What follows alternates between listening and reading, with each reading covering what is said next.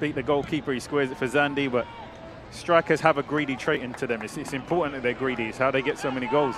If they passed every opportunity that they had, they wouldn't be hitting 10 and 15 goals a season. So it's important he also has that little bit of. Shawn Smart shoots!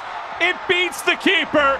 Christian Herrera cannot deny, and Shawn Smart scores to put Las Vegas out in front 1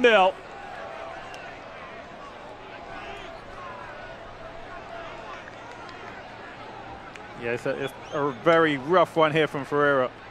It's good from Smart here to stay connected to it. Ball just bounces loose to him. It, it's in Herrera's hands. He just